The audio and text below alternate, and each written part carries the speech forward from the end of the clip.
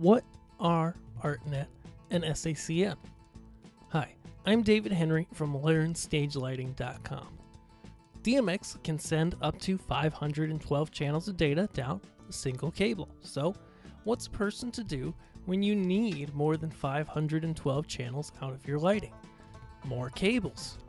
As technology moves forward, there becomes more and more the need to send large amount of DMX channels down cable, with some fixtures using 400 or more channels just for a single fixture.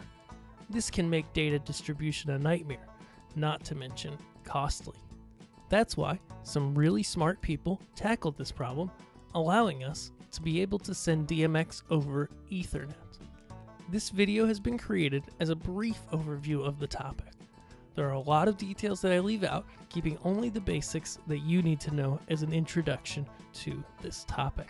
So, how does DMX over Ethernet work? At the time of this video, DMX can be sent through Ethernet through two different main protocols ArtNet and SACN.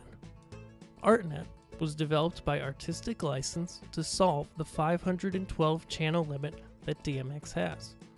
It allows you to send 32,768 universes of DMX data down a single network cable. The upside? ArtNet is supported by more gear and is an older protocol.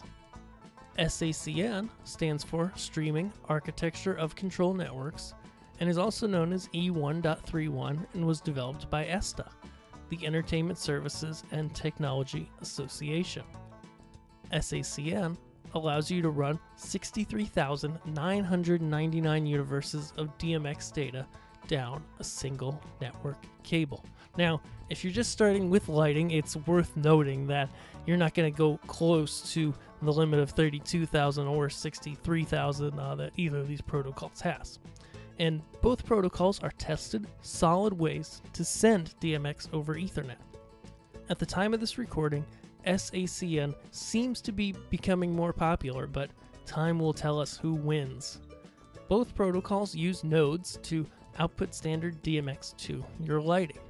These nodes are all on the same network as your console and can be reconfigured to put out different DMX universes, and multiple nodes can output output the same universe.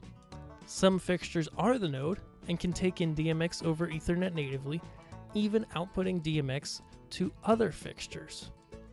No longer do large DMX systems require massive, thick bundles of DMX cable. The future is here, and if it hasn't come to your lighting rig yet, it will soon. If you enjoyed this video, come check out some of my other videos here on YouTube and be sure to hop on over to learnstagelighting.com to grab your free guide to beginning with lighting. I'll see you guys there. Thanks.